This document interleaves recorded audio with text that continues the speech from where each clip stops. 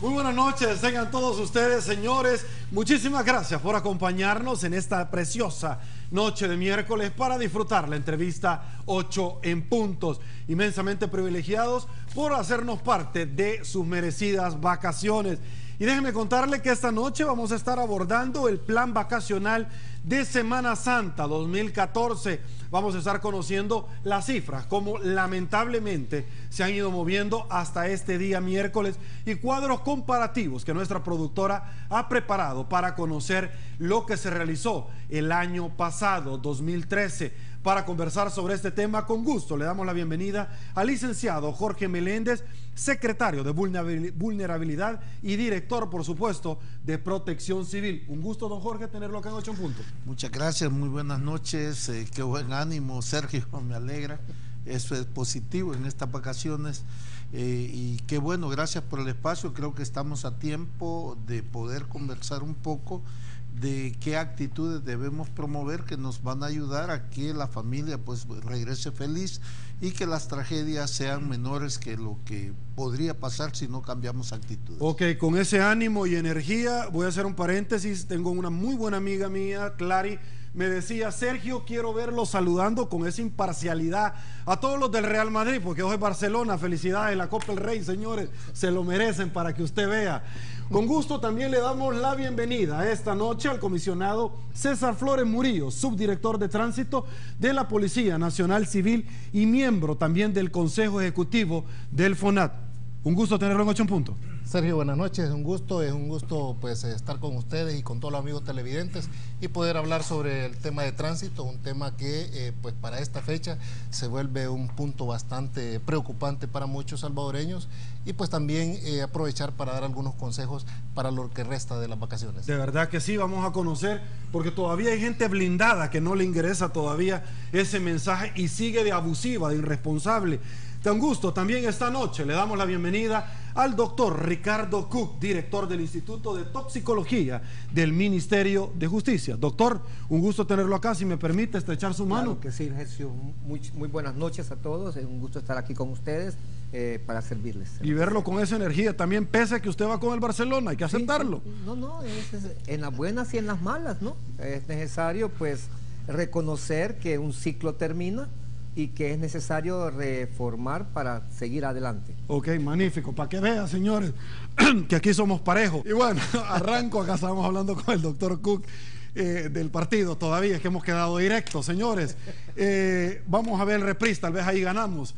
Arranco con este tema, eh, conociendo un poquito la intimidad del plan denominado Verano 2014. Coméntenos un poquito, por favor, don Jorge. Gracias, Sergio. Sí, el plan es denominado Plan, 2000, plan Verano 2014. Hagamos de la prevención y la protección una tradición.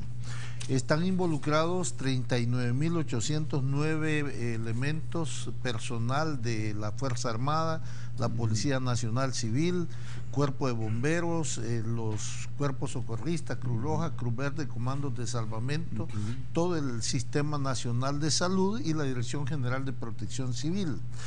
Eh, están tensionados eh, algunas instituciones como la Policía Nacional Civil de manera total, ¿verdad? Para poder cubrir un amplio dispositivo que abarca cuatro aspectos, o sea, seguridad, protección, prevención y auxilio. Y obviamente esto tiene que orientarse a todo el país, hacia las zonas residenciales, carreteras, eh, puntos de destino recreacional, playas, montañas, eh, balnearios, así como también hay que cuidar los distintos eventos de carácter de fe religiosa que se dan en estos días. El propósito siempre es que poder impactar eh, diariamente a, señalar aquellas conductas que nos van creando víctimas, tanto lesionados y lamentablemente víctimas fatales. El plan eh, busca fundamentalmente llegar a la conclusión de que cero ahogados es una cifra posible y evitar los accidentes también es algo que se puede. Aspiracionalmente es posible eso. Eh, es, es, posible y fundamentalmente depende qué tanta, tanto valor la sociedad salvadoreña le dé a la vida porque eh, cuando una persona decide tener una actitud que sabe que es causal de accidente de tránsito, debe saber que puede dañar a su propia persona, su familia o a terceros.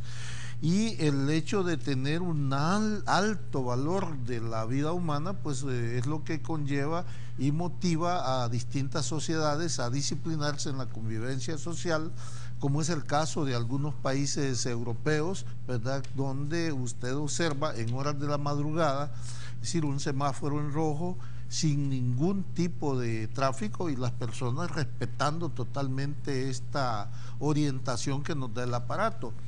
También observa los niveles de velocidad, siempre son prudentes y, y así otro tipo de conductas. ¿no? En nuestro caso, eh, a, esta, a esta cuarta, cuarto día de iniciar las celebraciones, pues ya tenemos cifras que no son pues lo que nosotros hubiéramos esperado, eh, hubiéramos querido tener cifras menores, pero pues ya tenemos 145 personas lesionadas.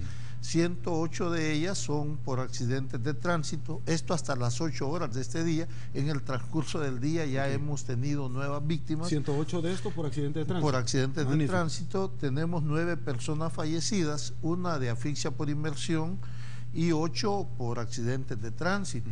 Seis de esos accidentes de tránsito son peatones y dos son pasajeros la persona que falleció de asfixia por inmersión, es decir, una persona que se ahogó, eh, fue rescatada reiteradamente por guardavidas de Cruz Roja.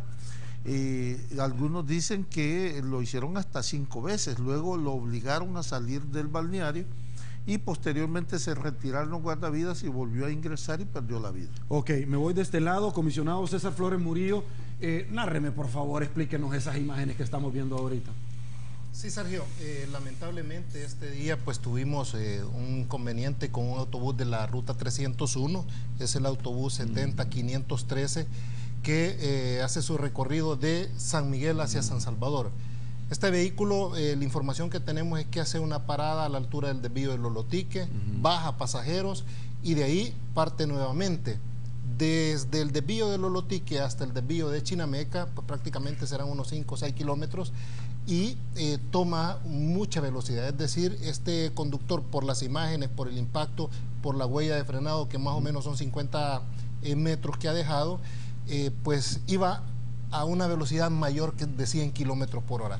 Todo autobús debe de conducir a una velocidad no mayor de 70 kilómetros. Entonces este autobús iba a excesiva velocidad, pierde el control a la altura del desvío de Chinameca y pues el resultado lamentable una persona fallecida y 32 más que han salido lesionados. De esto pues el conductor también salió lesionado, en este momento este, todavía se encuentra recibiendo asistencia, eh, pero pues ya tiene la custodia respectiva. Para nosotros, insistimos, esta es una conducta peligrosa, una conducta eh, irresponsable que eh, menosprecia prácticamente la vida. Y casi que ese ha sido el detonante en todos los fallecidos que hemos tenido en estas... 108, eh, nos comentaba don Jorge.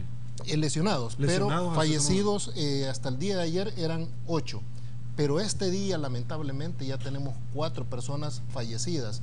la que estábamos viendo este accidente, dos más que se nos han dado en el cantón San Martín del municipio de Rosario de Cuscatlán, donde un menor de 16 años sin licencia de conducir en un picat a excesiva velocidad irrumpe en una zona donde había una fiesta, no se fija que habían lazos y pues prácticamente los que iban en la, cama del picat eh, son eh, casi que los, desnuca prácticamente, caen y mueren. Tenemos dos personas fallecidas en Cuscatlán este día en horas de la tarde producto de este menor que andaba conduciendo. Y eh, va el mensaje a los padres nuevamente. El caso de, eh, de Sensuntepeque era un menor también que llevaba un vehículo, un camión.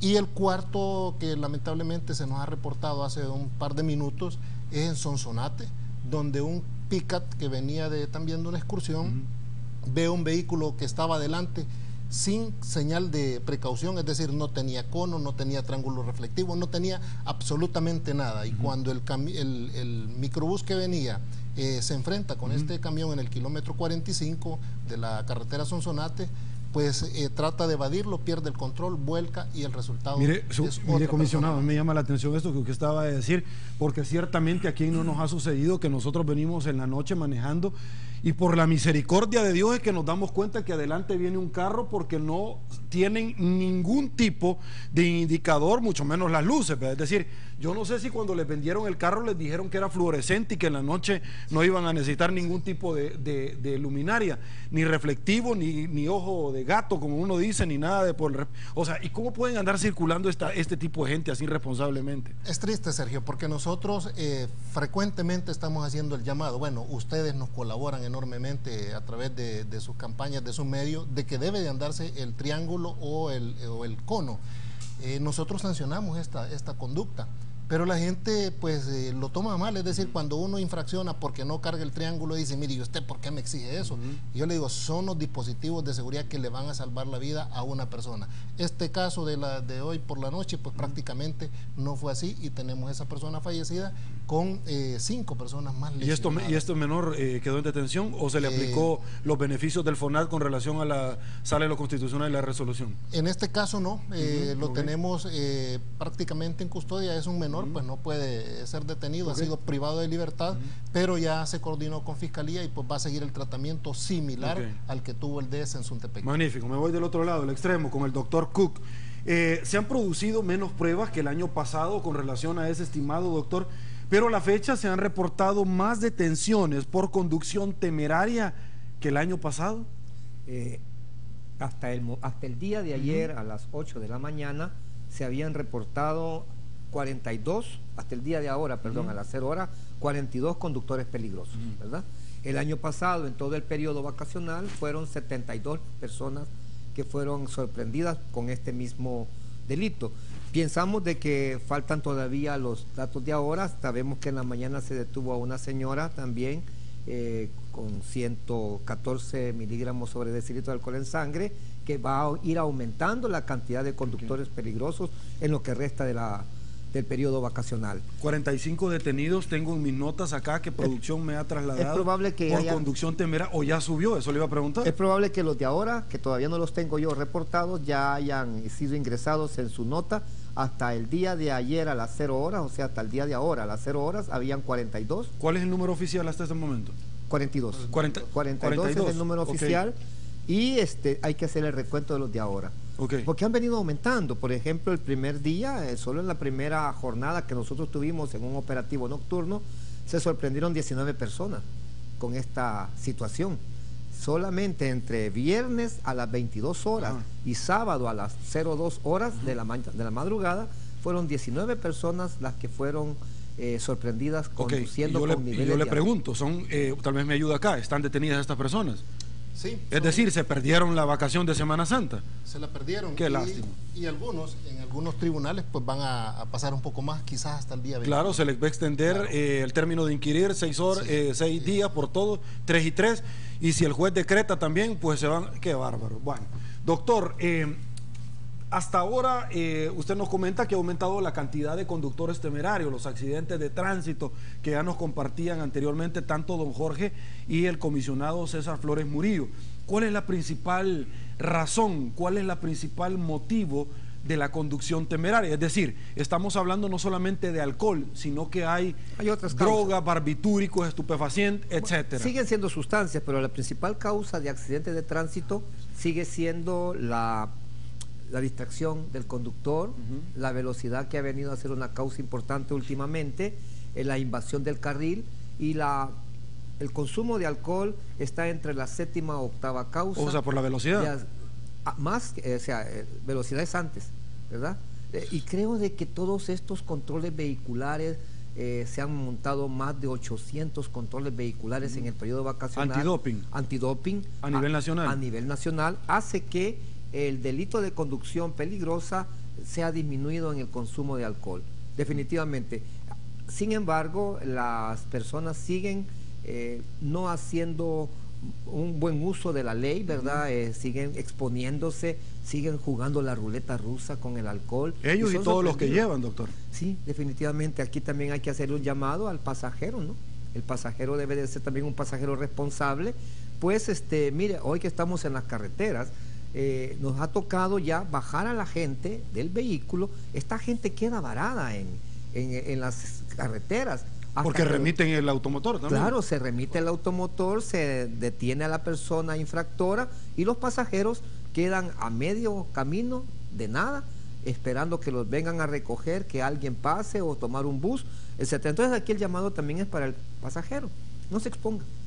Si ve que el motorista ha ingerido vías alcohólicas, mejor no se suba, trate de persuadirlo para que delegue la conducción en alguien que no haya tomado o simplemente no, maneje, no, no viaje con él. Ok, doctor, voy a hacer una pausa, sin embargo voy a usar de su confianza, comisionado, Vamos a permutar los, los dos puestos que tienen ustedes porque el doctor Cook al regreso nos va a explicar cómo funciona esa maquinita y por supuesto eh, hágame la prueba a su servidor para que vean que vengo contento pero no por una grave perturbación de la conciencia, no se necesita para eso, se lo voy a pedir. Señores, eh, si les estorba la vida, muéranse solitos, hombre. Por eso Paul Walker se murió de Fast and Furious. Que no le den, que no lo suban a la voladora. Pausa, volvemos.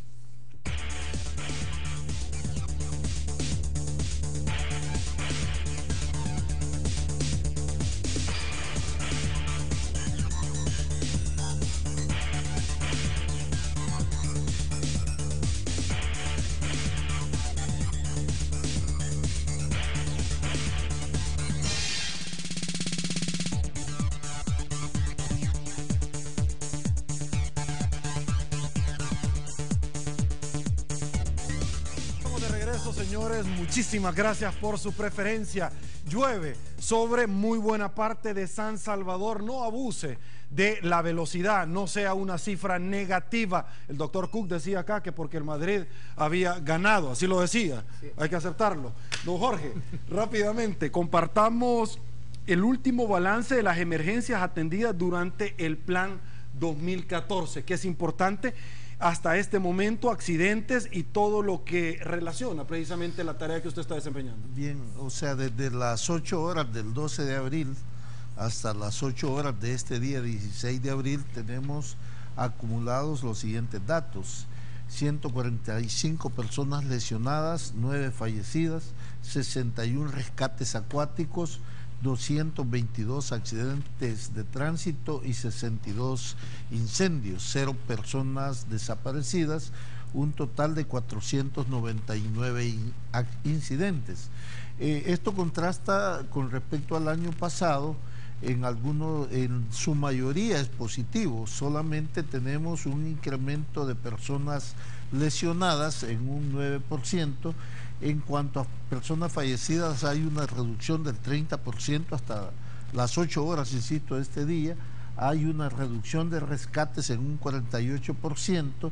Eh, tenemos 7.11% menos accidentes que el año pasado y incendios tenemos dos incendios más que el año pasado, un 3% más, de tal forma que en términos globales la, tendencia es positiva, ¿verdad?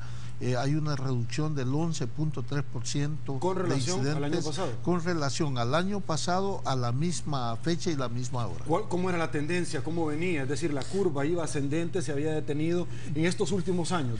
Pues cada año tenemos una reducción pequeña, pero ya cuando sumamos los cinco años eh, siempre es positivo. Voy a poner dos ejemplos. En, en, accidentes de tránsito teníamos más de 1.800 personas fallecidas al año. En los últimos dos años tenemos 1023, 1047, es decir, 600 personas menos que han fallecido cada uno de estos años. En cuanto a personas ahogadas, teníamos datos de, de 94, 74 eh, personas que fallecían ahogadas. En los últimos datos en, en actividades recreacionales, tenemos 5 personas que han perdido la vida y siempre hay gente que pierde la vida de asfixia por inversión, pero en otro tipo de cosas, ¿no? Por ejemplo, este día una persona en estado de ebriedad cayó sobre un río en una poza, pues eh, perdió la vida, pero no es un, un accidente de vacacional. En otras ocasiones hay niños que han caído también de puentes. En fin, eh, la tendencia tanto en personas que pierden la vida de asfixia por inmersión como accidentes de tránsito, ya en el transcurso histórico, creo que el esfuerzo que hace la Policía de Tránsito, los medios de difusión, estos planes, esa vigilancia de toxicología, creo que viene dando un resultado que si bien todavía no podemos decir que es satisfactorio, pero evidentemente si seguimos un trabajo sistemático, sostenido, cada vez va a tener mejores resultados. Mire, don Jorge, eh, yo escuché a don Carlitos López Mendoza, en un héroe nacional, desde aquí saludos a don Carlitos, que ha dedicado altruistamente su vida a salvar vidas, Cruz Roja salvadoreña. Y decía, yo recuerdo que en el pasado hubo una persona que era necio, burro, y que trataba de ingresar eh, bajo una grave perturbación de la conciencia al, al, al, mar, ¿no? al balneario, donde usted lo que... Y lo sacaban continuamente, entonces mejor lo trasladaban ya a una Bartolina. Eso no es posible ahorita, de la alcaldía o de, o de, o de, o de cualquier otra institución. No hay normativa que lo permita. La única manera de tenerlo es que cuando llamamos a la policía y esta persona o, eh, opusiera una resistencia violenta, lo puede detener. De lo contrario, no se le puede privar de libertad. Ok, nos vamos con el doctor eh, Ricardo Cook. Ya le habíamos pedido muy gentilmente que se viniera un poquito más para acá. Doctor, eh, cuéntenos cómo es que funciona el mecanismo a la hora de que a una persona en un control de antidoping se le va a realizar por sospechas esta prueba. ¿Cuál es el procedimiento? Cuéntenos. Bueno, este es un procedimiento que debe de realizarlo la Policía Nacional Civil, el detener el vehículo. La autoridad competente, dice la ley, eh, someterá a la detección de pruebas de alcohol y otras drogas al motorista que se estime conveniente. El que se negare a la realización de estas pruebas se presumirá culpable y se le aplicará la sanción mayor. Eh, después de que el policía... es una presunción legal, si se niega, se presume que se presume culpable, ¿verdad? Eh, el policía le pide primero sus documentos, porque no solamente se hacen pruebas de doping, sino que también eh, se, se revisa que la tarjeta de circulación, que la licencia estén actualizadas, además todo lo que viene consigo, la, llanta de repuesto.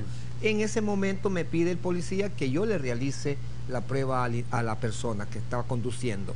Este es un aparato eh, que se llama Alcotest, es de la marca Drager, es alemana, y a veces la gente dice que, ¿y qué me garantiza que ese aparato está viejito, entonces, ¿cómo, cómo que esté calibrado. Un, margen de error, claro, correcto. Lo que pasa es de que estos aparatos constantemente están siendo revisados por la casa matriz y están siendo eh, recalibrados, ¿no? Eh, antes de un periodo vacacional, nosotros lo mandamos a la empresa que nos lo vendió para que ellos lo vuelvan a formatear y calibrar.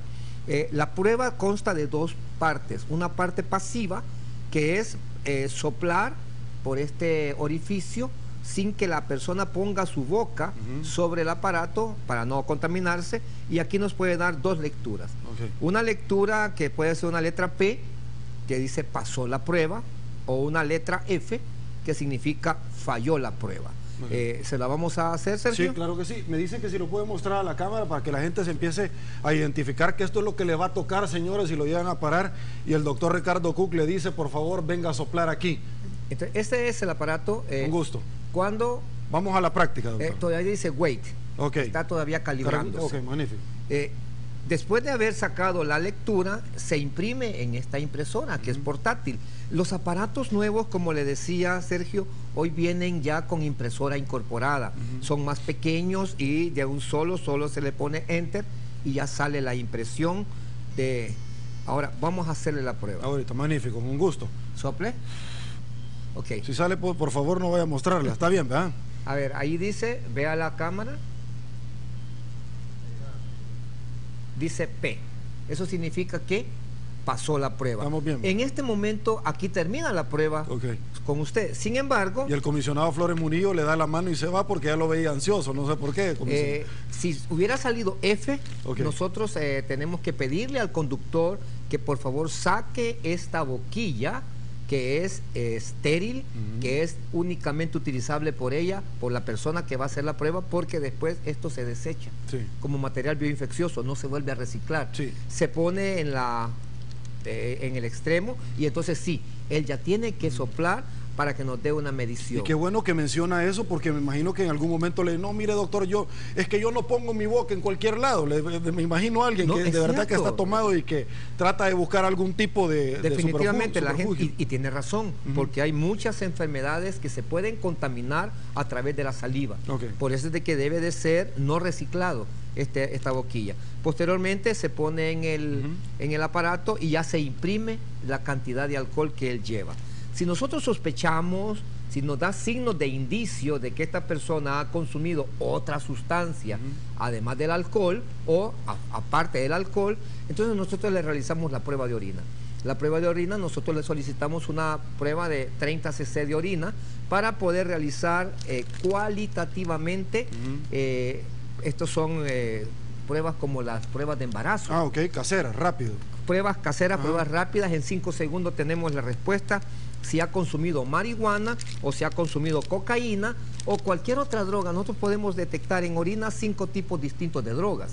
Eh, además de la marihuana y la cocaína, metanfetaminas, que también tienen su, ya su entrada en nuestro país, eh, fármacos que no son ilegales, pero sí son controlados y que dicen claramente si usted está consumiendo estos fármacos, no maneje.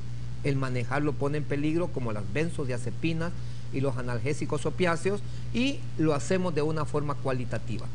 Si nos da positiva, cualitativamente, nos vamos a nuestro laboratorio para pasarla por el screen reader, que es un aparato que cuantifica ya la cantidad de droga que carga esta persona para poderlo remitir así al juez. Ok, y con esto eh, es, es una sola vez, vea. No es que va a salir positivo y mire, doctor, hágamela una segunda, tal vez a la segunda o la tercera ya no sale. Fíjese, Sergio, que aquí se aplica el sano, el, el sano juicio, ¿no? Por ejemplo, ayer estuvimos en la carretera que de Santa Ana viene a San Salvador, acá por el, por, por el lago de Coatepeque, por el Congo, y nos salió una persona con 101. E- En ese momento usted dice 101, ¿verdad? Eh, acaba de tomarse la cerveza, porque ayer hicimos un experimento y después de que se toma la cerveza, una persona, una cerveza, le puede elevar hasta 300 miligramos sobre decilitro. Sí. Entonces se le da 5 minutos de stand-by. eh, esperemos, esperemos 5 minutos. A los 5 minutos se le repite la prueba y entonces vemos va la cantidad que carga, no en su aliento, sino que en sus pulmones Se le aprueba la sana crítica, ¿verdad? se ocupa la sana crítica. Sin embargo, también quisiera decirles que hay que aplicar la sana crítica con respecto a los eh, motoristas de pasajeros. Por ejemplo, nuestras leyes, nuestras leyes son eh, es- como nuestro queso, duro, blandito, ¿no? Mm. Algunas son duras, otras son blandas. Mm. Este, eh, eh, tenemos tres tipos distintos de mediciones. De 0 a 50, la, la ley dice que no es infraccionable la conducción con estos niveles de alcohol. De 50 a 100 es sancionado con una multa por una, se llama una falta muy grave, con una multa de 57.14 y de 100 en adelante detenido. Pero ahora habría que tomar sano. Hemos estado los días lunes en coordinación con tránsito verificando eh, las pruebas de orina y pruebas de alcohol test en, en motoristas de transporte de pasajeros. Mm. Me sucedió hace un mes aproximadamente en el desvío para Zacacoyo que se le hace la prueba a un motorista. Por cierto, fue el día que el, el Barcelona le ganó al Madrid 4 a 3 en la- en el último, eh, último gane del Barcelona. Y Ah. este motorista había estado ingiriendo muchas bebidas alcohólicas el domingo. Sí. El lunes a las 7 de la mañana le hago la prueba y me sale 95. 95 es, no es este, detenible. Sin embargo, el sano juicio hace, hace también pensar de que no es lógico que un motorista con un bus cargado de pasajeros carga, ande alcoholizado. Entonces se llega a mediar, no con él. Ok, le vamos a dejar continuar la marcha, pero con otro motorista Sí. me dice que no puede porque su jefe le puede quitar el trabajo. Entonces habían otros dos buses parados también que estábamos haciendo las pruebas que iban para el mismo destino. Trasladamos los pasajeros a estos dos buses y el motorista se llevó su bus pero sin pasajeros. Entonces aquí es donde tenemos que hacer revisiones de ley, Sergio. No es posible que los, pasa- los eh, motoristas de transporte de pasajeros se les permita que anden con niveles de alcohol. Claro, tienen una gran responsabilidad. Antes de, irme con el comisionado, eh, tengo una pregunta acá que me parece que es importante y con todo el respeto posible, porque en ningún momento eh, se, se está franqueando como peyorativo, porque es el género opuesto. Y es que el día de ayer por la noche se sorprendió a una mujer con 114 grados de alcohol. Doctor, eh, cada vez eh, los números que tengo yo acá advierten que son sorprendidas más mujeres con alcohol. Es decir, eh, yo quiero ser muy respetuoso en esto porque por favor el tema no es ser machista, el tema es prevenir, sea quien sea, y no vamos a entrar en aquel dilema de que es que un hombre se mira mal, pero una mujer se mira peor. Por No. favor, de verdad que estamos hablando muy responsablemente. Pero ¿por qué se está dando este tema, doctor? Eh, pienso que la, hay muchas más mujeres que están conduciendo ahora que antes. Pienso también que hay muchas más mujeres también que están ingiriendo bebidas alcohólicas. Ok, ahí tengo imágenes, doctor, de, de lo que estamos comentando, por favor. ¿sí? Y este, eh, para decirle algo, en el año pasado la Dirección de Toxicología sorprendió a 14 mujeres conduciendo alcoholizadas. Este año, en solamente los primeros tres meses del año, ya van 18. 18 mujeres. 18 mujeres. O A eso sea, me refería. eh, está cuadruplicando la cantidad de mujeres que se están sorprendiendo manejando bajo efectos eh, de alcoholización ya no permitidas por la ley. Y eso es una situación que se está dando. eh, muy difícilmente se va a 114, ahí tiene, ya 114, y es bien difícil para que le baje 15 miligramos a esta, a esta persona, tenemos que esperarnos de 60 a 90 Ok, minutos. con 114 grados, ilústrenos, acá tenemos las imágenes. ¿Cuántas cervezas, eh, si lo podríamos decir, o no sé si es indeterminado o complicado? Mire, qué lamentable esto. Una señorita, por el amor de Dios, eh, eh, en ese momento que es aprendida por un agente de la corporación policial, ahí mo- podemos ver en las imágenes, pues al final, de verdad, que me- cómo, cómo se le empañan a, a esta persona y a toda su familia las vacaciones. No sé si podemos decir, doctor, ahí tenemos en las imágenes, son 114, pero ¿cuántos, eh, ¿cuántas cervezas pudo haber consumido, por ejemplo? Bueno, lo que no sabemos cuántas ha consumido, lo que sí sabemos es cuántas todavía tiene adentro de su cuerpo. Y tiene aproximadamente cinco cervezas todavía que no ha metabolizado. El problema es de que hay personas que toman con cierto tiempo, o sea, van, a- van dándole tiempo a que el organismo lo el- ingrese y lo elimine. Pero cuando lo, lo, este, lo, lo acumulamos, se dan este tipo de, de situaciones. Magnífico, estábamos hablando de la corporación policial y el trabajo que coadyuvantemente están realizando con esas dos instituciones, de las cuales representa don Jorge y el doctor Ricardo Cook. Comisionado Flores Murillo, eh, en, lo- en diferentes medios, eh, mi productora me comenta, sociales, se ha estado manejando que las imágenes que le, que le presentábamos al inicio de esta entrevista del autobús que volcó eh, por exceso de velocidad que usted nos comentaba anteriormente, había un fallecido contabilizado, pero también una persona que había sido trasladado eh, lesionado a un nosocomio. Se está manejando que hay otro fallecido. ¿Qué información se tiene hasta este momento? Bueno, hasta este momento no se ha reportado ninguno más. Eh, únicamente la persona que falleció en el lugar, el resto de lesionados que se trasladaron al hospital de Nueva Guadalupe, eh, pero no, no se nos ha reportado que haya fallecido. Eh, sí tenemos información que iban unos este, bastante graves, pero eh, pues no, no se nos ha reportado ni confirmado hasta este momento. Hasta este momento, magnífico. ¿Cuáles son las principales causas de accidentes, comisionado? Bueno, eh, lamentablemente nosotros eh, en este tema de los fallecidos, lesionados, la principal causa es la, la falla humana, ¿verdad? No tenemos otra palabra más que decir que esta es una conducta eh, prácticamente suicida, la que estamos viendo en muchos casos, una conducta peligrosa, una conducta de irrespeto a la vida de eh, los conductores hacia los pasajeros, porque, bueno, a los pasajeros y a todos los usuarios de la vía, porque eh, nosotros venimos insistiendo en el tema de la velocidad, esto no es nuevo, todos los años estamos insistiendo, todos los años insistimos en el tema de la distracción del conductor, de la invasión del carril contrario, de la imprudencia del peatón. Le decimos al peatón, mire, pasar debajo de una pasarela es de mala suerte. ¿Y por qué? Porque lo van a atropellar. En San Marcos Lempa, un señor de 43 años pasa debajo de la pasarela en esta época de, de Semana Santa, el resultado lo atropellan y fallece.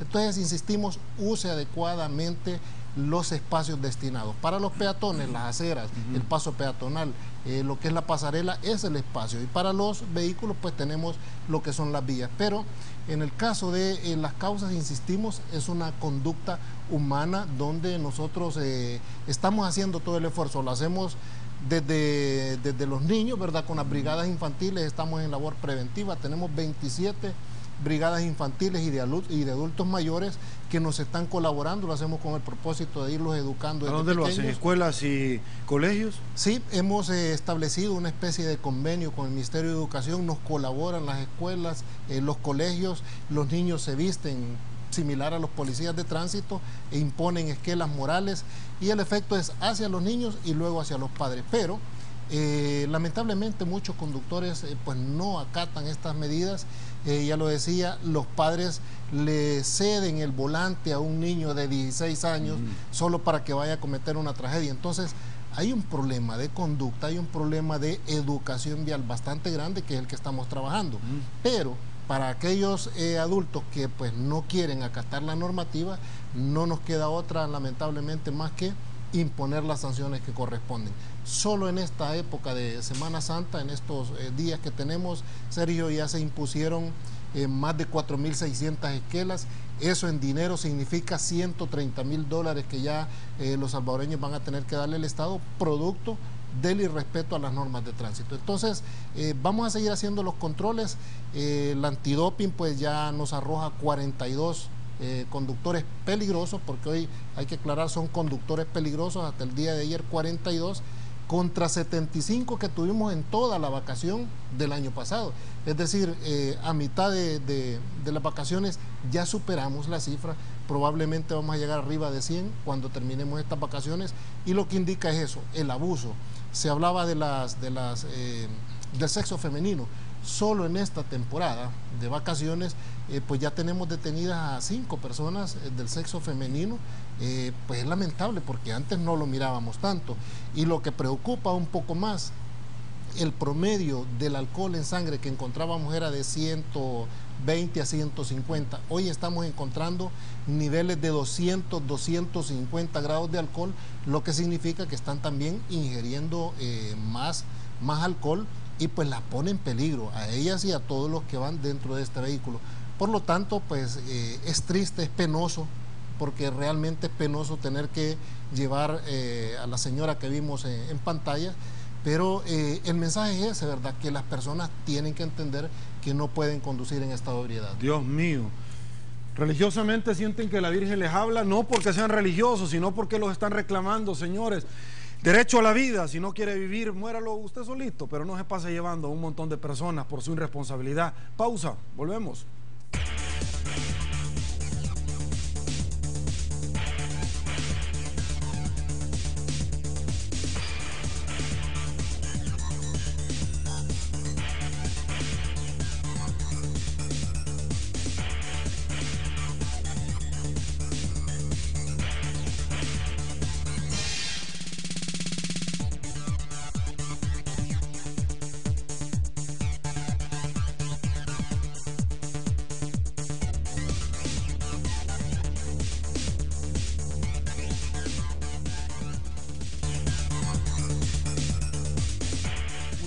Gracias, señores. Estamos de regreso en 8 en punto. Importante conversar con el director de Protección Civil, eh, don Jorge, sobre el tema de los incendios, porque en los últimos días hemos visto cómo se ha incrementado el tema de los incendios. ¿Cuáles son las causas, don Jorge? Todas de carácter humano, mm. ¿verdad? sea, personas que inician los incendios, eh, suponemos nosotros, pensando luego poder talar los árboles otros que hacen quemas para prepararse para la siembra y en estas condiciones pues de maleza seca y, de una temperatura bastante fuerte es fácil la propagación de incendios. Hemos tenido eh, nosotros la preocupación que en estos primeros cuatro días tenemos 62 incendios, pero ya hemos perdido 1.200 hectáreas de bosque, es decir, de incendio forestal.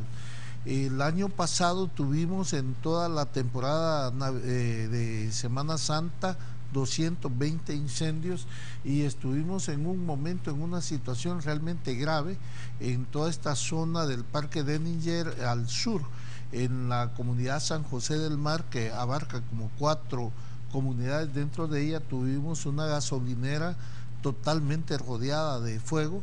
Se logró controlar el fuego a escasos 30 metros de la gasolinera y además muy cerca de las casas. Es, más, alguna, en algunas casas logramos controlar el incendio ya en las, prácticamente en los patios. Recordemos lo que pasó en Chile, en Valparaíso, ¿verdad? O sea, cómo eh, una combinación de un incendio provocó la destrucción de casi 2.000 viviendas. Afortunadamente nosotros no hemos tenido hasta el momento una situación trágica tan grande, pero sí hemos tenido, eh, hemos estado a punto de tenerlo. Ok, doctor, eh, más de alguna oportunidad hemos escuchado a alguien con la canallada decir, porque así es con nombre y apellido, no mires que yo ando tomado, pero el carro ya conoce, es que él regresa solo, ¿verdad? Eh, con el alto grado de alcohol, como tratándose de justificar. ¿Cuáles han sido los ejemplos que usted nos puede compartir de personas que han encontrado que no saben ni cómo se llaman?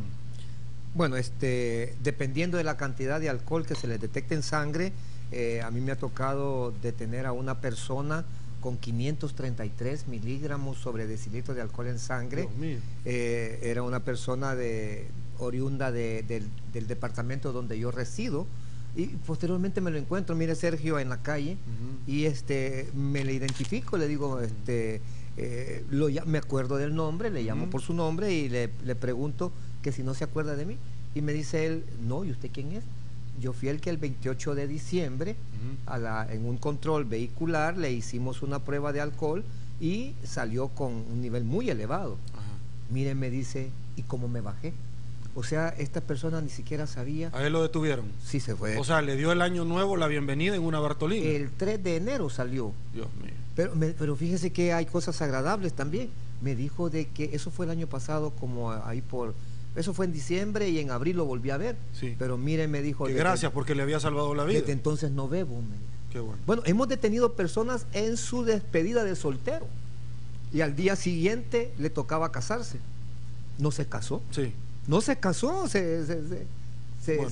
Eh, bueno. pospuso el casamiento. esperemos que el ingrato no lo hizo adrede para no casarse, pero bueno. Eh, bueno, no sé si nos lo va a agradecer o nos lo va a pero así nos ha tocado. Mire, eh, en este periodo vacacional, eh, la cifra más alta de alcoholemia que hemos detectado ha sido de 476.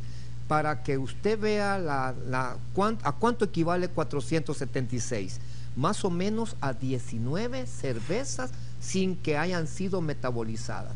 O sea, casi una caja. Estas personas son de las personas de alto rendimiento que pueden tomar más de una caja a veces nos sorprende que encontramos gente que ya debería estar dormida y manejando. O muerta, doctor. O muerta, sí, porque arriba de 500 los libros de medicina dice que hay una serie de Científicamente ya nos explican cómo anda caminando. No, pero en, el salvadoreño hay muchas cosas que no se explican. Cómo personas andan con tres de hemoglobina cuando los libros de medicina dicen que debería de estar muerto.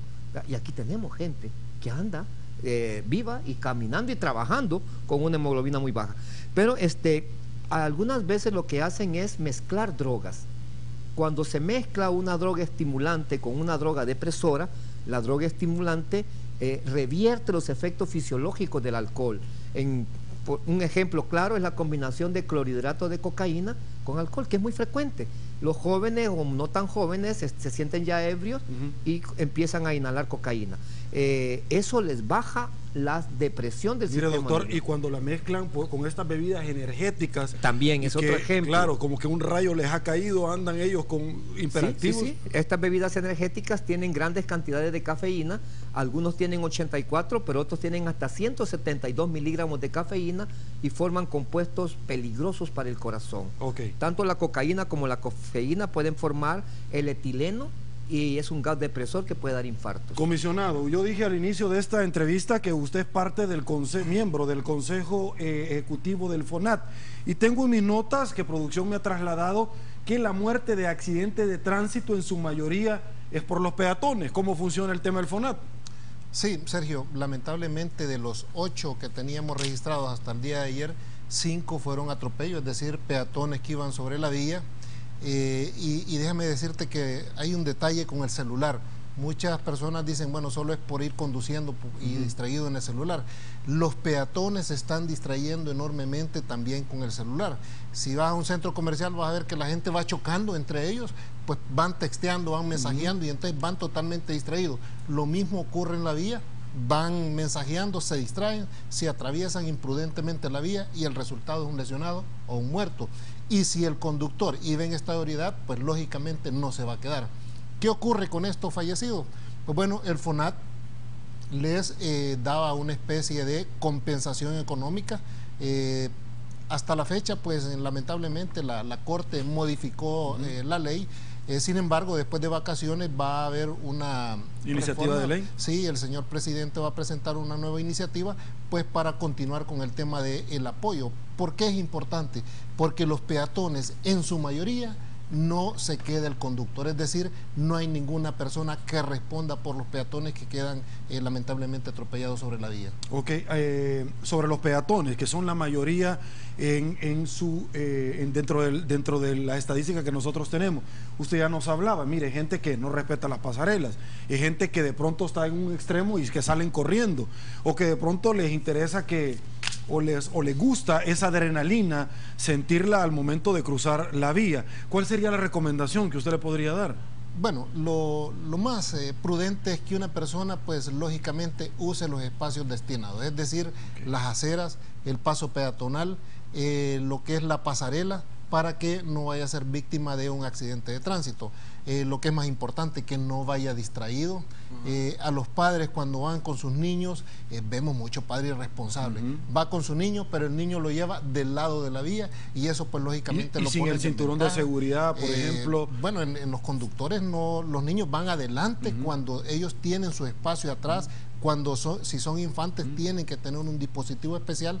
Entonces eh, vemos conductas eh, peligrosas en las motos, por ejemplo, eh, señores que llevan a sus niños, bebés de un, año escaso. O hasta cuatro personas en una moto, como es, es terrible. Lamentablemente nosotros infraccionamos, tenemos que bajarlos, ¿verdad? Y no permitir que continúen y eso pues lógicamente nos trae también... Ahora, tampoco no hay como mucha cultura de los conductores en frenar y darle el paso a los peatones que van a cruzar Lamentablemente es un tema cultural, ¿verdad? Eh, yo creo que vamos a seguir en el esfuerzo, pero eh, poco a poco probablemente los conductores tienen que ir entendiendo que eh, la preferencia de vía la tiene el peatón. Magnífico, con eso vamos a quedarnos momentáneamente. Hacemos una nueva pausa en 8 en punto.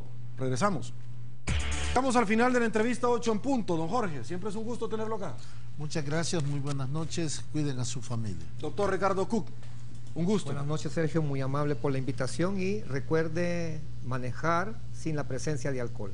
Comisionado, un gusto tenerlo acá. Buenas noches, Sergio. Es un gusto y pues en lo que resta de las vacaciones, desearles unas felices vacaciones, disfruten sanamente y conduzcan responsablemente. Buenas noches, señores. Que disfruten sus vacaciones. Soy Sergio Méndez. Hoy miércoles 16 de abril de 2014. Así están las cosas en nuestro país. Será hasta el día de mañana. Que el Señor los bendiga a todos.